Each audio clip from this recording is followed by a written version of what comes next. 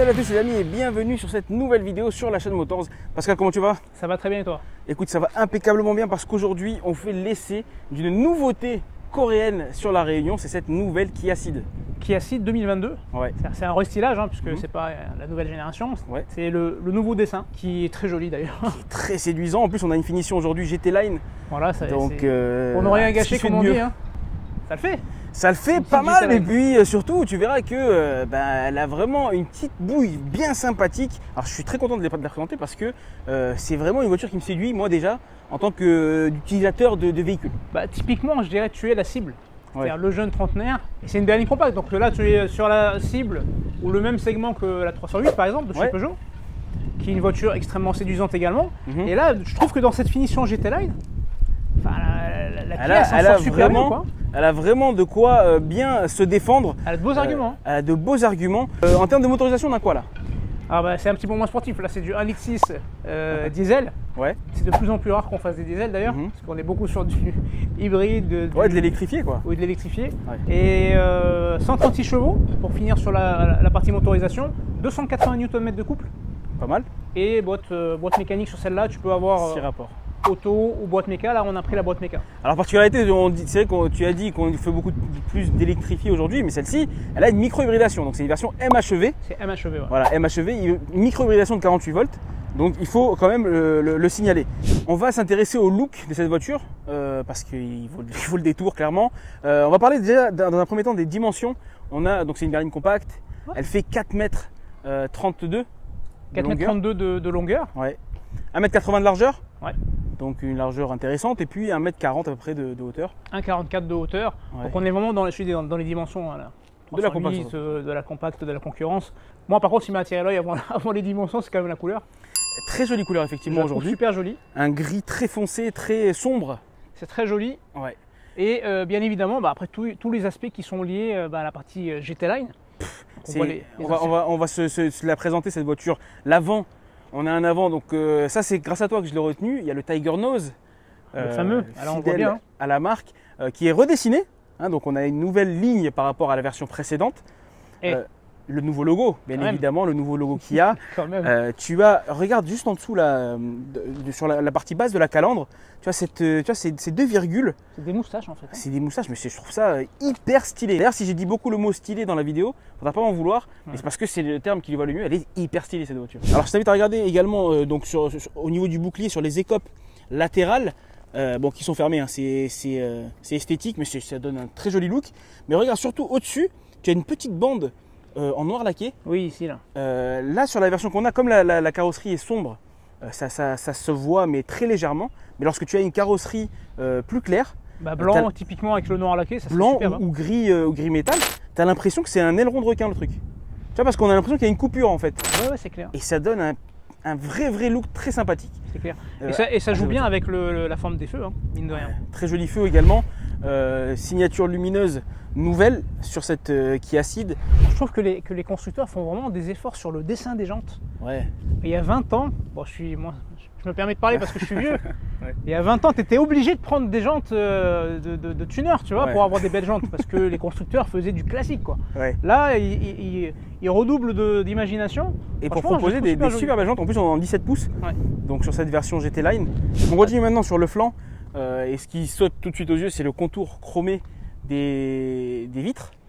Des vitres, le chrome, tu le retrouves également en bas, au niveau de, de la baguette qui est juste en dessous du bas de caisse, Ouais. avec également du noir laqué. Ouais. Et alors, je, bah, je trouve que l'arrière, il, il se finit bien, je trouve, moi, cet arrière-là, tu vois. très joli trois quarts arrière, euh, avec une nouvelle signature lumineuse à l'arrière, comme ça, une sorte de, de nid d'abeille.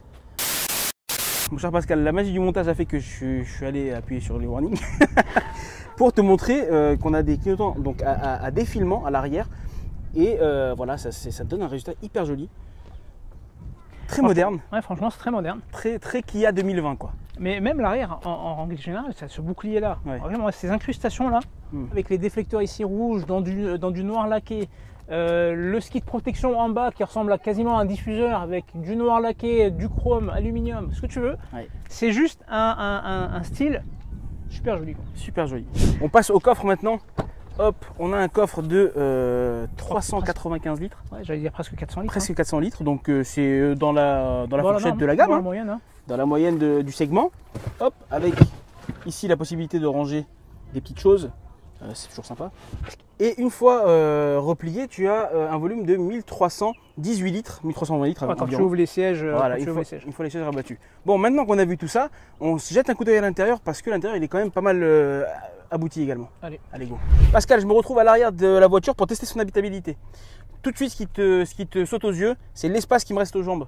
Euh, J'ai allez, un bon 10 cm entre mes genoux et la place à l'avant, sachant que c'est moi qui conduisais. Ouais, c'est clair. c'est, Donc euh, euh, il y a pas mal de place.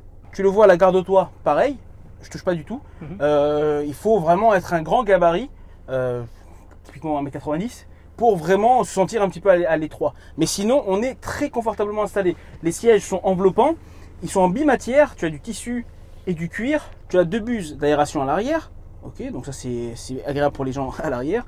Une prise USB ici pour recharger les téléphones, les iPads et consorts. Et puis euh, voilà, on est, on est quand même très confortablement installé à, à- à l'arrière de la voiture. Ouais. passe à l'avant. On passe à l'avant voir si on est aussi bien installé Allez. Allez, go. Hop, je m'installe à l'avant. Tu es en train de filmer le siège, Ouais. j'imagine. Finition GT Line, bimatière également. Euh, le dessin, regarde le maintien que tu as sur les côtés. C'est top. Grimpe, on va filmer euh, l'intérieur ensemble. On est bien là. On est très bien à la- à l'avant. Alors regarde tout de suite, euh, comme ça c'est fait. On a un toit ouvrant. Alors bon, on a fixé la caméra dessus, donc on va pas l'ouvrir entièrement, mais regarde, voilà. Hop, tu as compris? Ah, j'ai compris. Voilà. Sur- hop, hop, hop. Ah, pardon, je suis là. Donc tu as compris, toi ouvrant, euh, très sympa. Maintenant regarde euh, le poste de conduite. Il y a un- le volant qu'il y a, il est quand même plutôt euh, séduisant. Le nouveau logo, moi je trouve que heureusement qu'ils ont changé de logo parce Ouais. que ça, ça modernise euh, l'identité de la marque. Je trouve que c'est un des logos les plus modernes en ce moment. Parce Ouais. qu'il y a pas mal de marques qui, qui ont renouvelé leur logo. Et celui-là, il est vraiment. euh, bah, la, façon dont ils ont fusionné Ouais, les trois c'est, lettres. c'est- hyper stylé. Ouais. Euh, ça, ça, ça habille bien le, le volant. Je trouve, je trouve ça très joli. Joli volant en cuir, petite surpiqûre à l'intérieur. On est sur la finition GT Line, donc forcément, tu as le petit logo GT Line ici. Et puis regarde, on a un écran d'instrumentation qui fait euh, 12,3 pouces, qui est hyper joli. Alors full numérique, bien évidemment. Tu as euh, toutes les informations nécessaires. Tu as l'autonomie de la voiture, tu as la consommation en temps réel, tu as la vitesse enclenchée, etc. Et regarde, lorsque je bascule le mode de conduite, alors via ce petit bouton, Ouais. il y a trois modes de conduite. Tu as le mode éco, le mode confort et le mode sport. Et tu vois que l'instrumentation change à chaque fois que tu bascules de mode. Et ce que j'aime bien aussi, c'est la façon dont euh, l'écran d'instrumentation est englobé dans, je sais pas comment on peut Ouais, appeler il est, ça, une sorte inté- de il est bien intégré euh, dans le. La casquette est très euh, Ouais, arrondie, enveloppante, ouais. enveloppante, ouais, exactement. C'est clair. Non, c'est c'est hyper sympa. En plus, regarde là, on a plein de touches autour du, du volant. À droite, tu as les aides à la conduite parce qu'il y a le régulateur adaptatif, tu as le limitateur de vitesse, tu as l'aide au maintien dans la voie. Donc, pas mal de petites options euh, d'aide et d'assistance à la conduite. Et à gauche, tout ce qui va concerner euh, l'infodivertissement, euh, la radio, La radio, quoi. les médias, euh, le téléphone, bref. Donc tout ça à portée de main, ça c'est top. Puisque tu filmes cet écran, on arrive sur l'écran d'instrumentation qui fait lui 8 pouces sur la version euh, qu'on a aujourd'hui, euh, compatible Android Auto et Apple CarPlay. Alors c'est un, c'est un écran, euh, je, je suis moins sensible à cet écran que, que- qu'à l'écran d'instrumentation. Celui-là rappelle plus euh, le Kia qu'on avait essayé, même Ouais. si l'autre était englo- en- englobé dans une. Ouais. Euh, et là, bah, tu redescends un petit peu de niveau. quoi. C'est vrai, ça c'est, ça, c'est, ça c'est un petit peu dommage. Même s'il reste très fluide d'utilisation, il est couleur aussi, euh, il est agréable à utiliser, il est complet aussi. Donc on a, on a tout ce qu'il faut dans cet écran. Mais c'est vrai que euh, j'aurais préféré un écran un peu plus dans, dans ce style-là euh, que celui-ci. Mais bon, ça fait, ça fait parfaitement l'affaire. En dessous, tu as les touches pour la climatisation. Ça, c'est toi qui vas être euh, ravi puisque tu es, un homme qui aime les touches. J'aime les touches. Voilà, donc là, tu as toutes les touches ici. C'est- en même temps, je comprends parce que c'est hyper pratique et hyper rapide à utiliser Il y a de la touche. et il y a de la touche. Un petit peu plus bas, tu as le chargeur à induction, donc tu poses ton téléphone ici, ça charge, c'est ce que demande le peuple. Si jamais euh, tu veux charger différemment, tu as une prise USB ici, tu as une prise USB là également, et ici tu as une euh, prise 12 volts. Mhm. D'accord? Un petit vide-poche, la boîte de vitesse à 6 rapports, dont on parlait tout à l'heure, le petit bouton pour euh, les modes de conduite, le certain stop. Là, tu as euh, le- la petite touche pour les, les radars de recul. Mhm. Ici, tu as le petit bouton pour la caméra. Donc, tu as une caméra de recul. Euh, tu verras, tu noteras la qualité de caméra de recul. Hop, la voiture qui est passée. Pas Hop. Tu peux ici changer euh, la vue aussi, ça c'est une vue de, de dessus. Donc ça c'est sympathique. Ici tu as le frein électrique, le bouton auto hold, les portes gobelets et puis ici tu as un bac de rangement si besoin. Donc on est quand même plutôt Sous la coudoir. hein. Sous la coudoir. Sous la coudoir. Sous la coudoir qui est très sympa quand tu utilises une boîte une boîte méca d'avoir un petit accoudoir. Maintenant, on, on s'intéresse un petit peu plus aux, aux finitions de la voiture. On remarque qu'on a du plastique moussé de partout, des bonnes finitions. Regarde même là devant toi, hop, c'est moussé, mon doigt il s'enfonce. Euh, c'est qualitatif, tu as des petites surpiqûres, bref.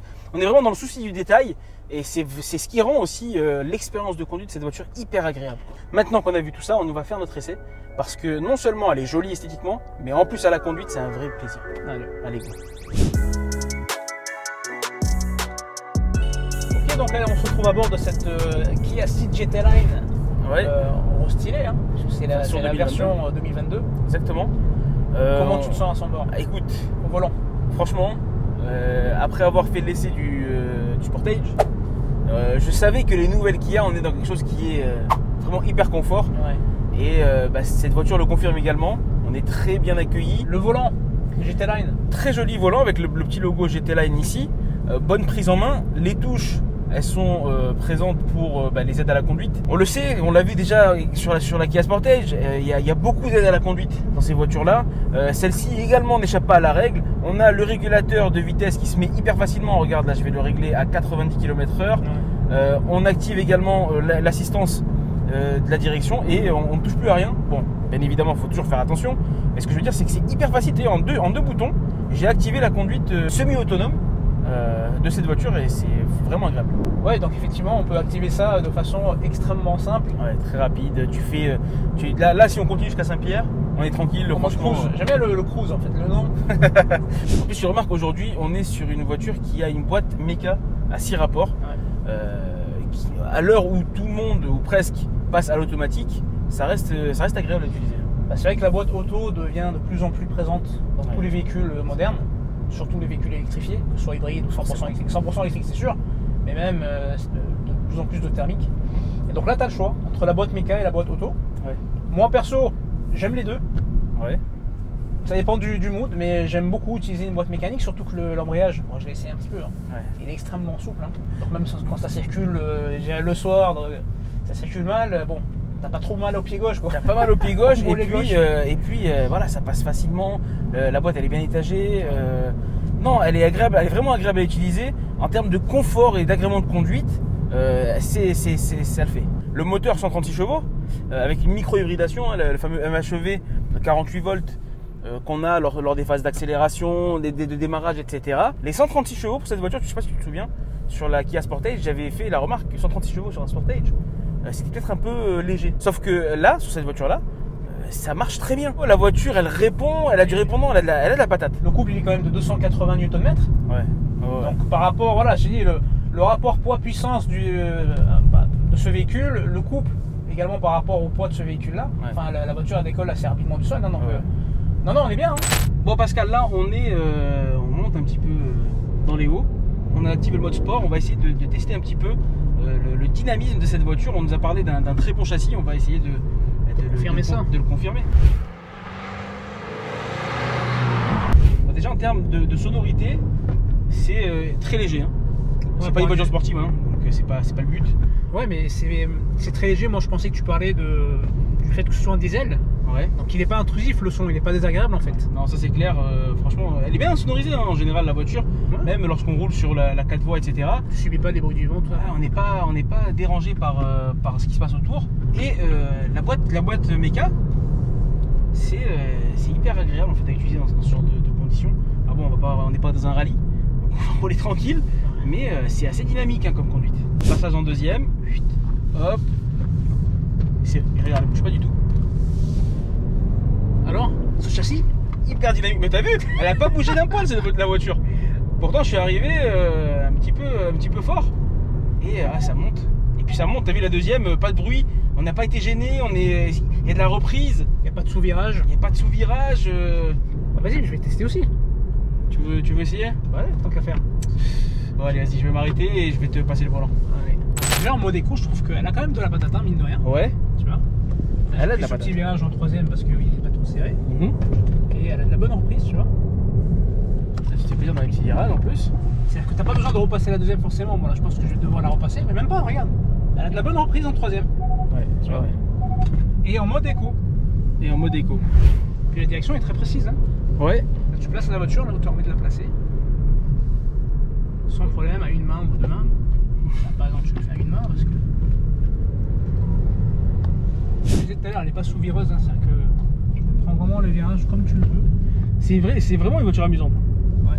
C'est vraiment une voiture amusante, Donc, on plaisante dit à que, conduire. quand on nous a dit que le, le- vous allez voir, le châssis il est sympa, Ouais. c'est pas manqué de nous. On s'est pas moqué de nous, euh, c'est une voiture qui est joueuse. Euh, même si, encore une fois, on le rappelle, c'est une voiture qui est faite pour la ville, c'est une voiture, euh, c'est pour le quotidien, c'est pas, n'est pas, c'est pas une voiture sportive pour. Ouais, mais On est à La Réunion et les gens ils aiment bien que Ouais. la voiture elle ait ce petit côté un petit peu quand ils ont euh, le- le- la route pour Ouais. euh, puis euh, le mood hein, Ouais, c'est clair. de, de- de s'amuser un petit peu quand même. C'est pas euh, Et ben, il y a de quoi faire avec celle-là. en concession, c'est pas les voitures les plus pépères qui se vendent hein, ici. hein. C'est vrai. Ça, c'est connu. hein.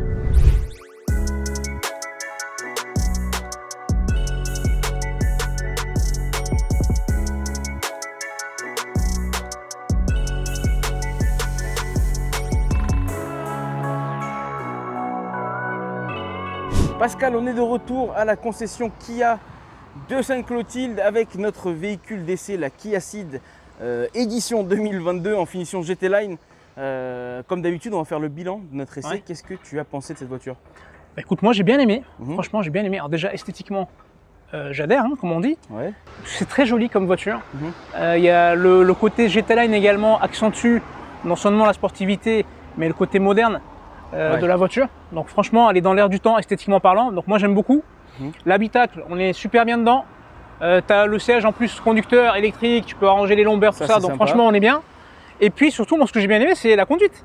Ouais. C'est-à-dire que le moteur 1.6 litre euh, diesel qu'on a avec les 136 chevaux, moi j'ai trouvé largement suffisant par rapport au gabarit de la voiture, par rapport à l'utilisation qu'on a eue, parce qu'on l'a utilisé pendant un week-end. hein. On a Ouais. fait de la 4 voies, on a fait euh, des, des chemins montants, descendants. Moi j'ai amené les enfants à l'école ce matin avec, donc franchement, on est à l'aise même en circulation. Le rapport poids-puissance qu'il y a sur cette voiture, il est juste euh, parfaitement équilibré. Euh, il y a un vrai plaisir à la conduire, cette voiture. L'expérience de conduite, elle est sympa. Euh, L'écran d'instrumentation, il est, il est franchement valorisant. Bon, le petit, le petit hic que j'ai là-dessus, c'est- l'écran d'infodivertissement que je trouve un petit peu. euh, Enfin, qui, qui est perfectible en tout cas. Après, on est passé, euh, il y a un mois, on avait le Sportage avec le, le double écran magnifique à l'intérieur. C'est ouais, pour ça que ouais, c'est vrai. je t'entendais à la même chose. En tout cas, il fait, il fait parfaitement son boulot. On n'a pas besoin de forcément plus. Mais voilà, c'est c'est un tout, comme tu dis. Esthétiquement, ça marche. Euh, au niveau de la conduite, ça marche. Le, moteur, ça marche. Ouais, c'est un tout. C'est une bonne, une bonne euh, petite euh, berline compacte. Les amis, l'essai est désormais terminé. Euh, merci à vous d'avoir regardé cette vidéo jusqu'à maintenant. On vous invite également à faire l'essai vous-même. à la, concession ici à Sainte-Clotilde, au port, à Saint-Pierre. L'accueil il est toujours chaleureux de toute façon. Et puis ça peut vous permettre de vous faire une idée personnelle de cette voiture. Donc, euh, donc il y a quoi ne vous a- contentez pas de notre avis, ne vous contentez pas de notre faites-vous le avis. vôtre. Exactement. en tout cas, merci encore une fois d'avoir regardé cette vidéo jusqu'à la fin. Si, elle vous a- si vous avez apprécié cette vidéo, je vous invite à la liker, la partager et la commenter. Toujours, Activez la petite cloche de notification. toujours, À prendre soin de vous et de vos familles. toujours, toujours. Et on se dit à bientôt pour un prochain essai sur la chaîne. Ciao Allez, à plus.